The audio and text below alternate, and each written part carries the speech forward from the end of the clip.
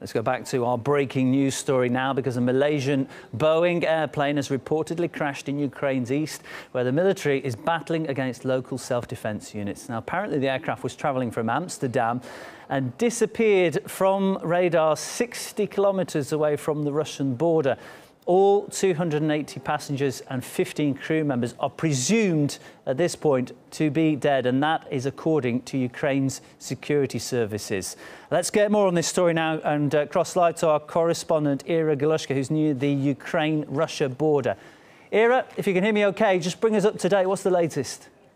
All right. Well, at this point, uh, we are hearing that the uh, plane was uh, went off the radar, um, pres- presumably at the at the time of the presumed crash. Um, now, the uh, officials from the Donetsk People's Republic are the the Kiev forces are saying that they have absolutely nothing to do with this. At the same time, there was information coming in from um, Malaysian air officials who have uh, said at one point that they have no information on or any of their planes missing.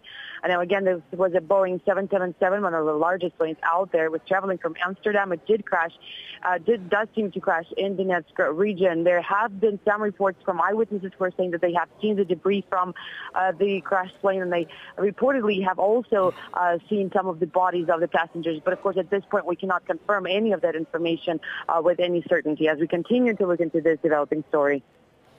Yeah, thanks very much, uh, Ira, who's on the ground there near the border of Ukraine and Russia. And I can actually add a few details now because it is coming in minute by minute and it isn't looking particularly good. Malaysian Airlines, I can tell you, they have uh, confirmed now that they have indeed lost contact with one of their planes. Um, other information, Ukrainian sources quoting that, as we already understand, 280 people were on board that plane, uh, 15 crew members as well.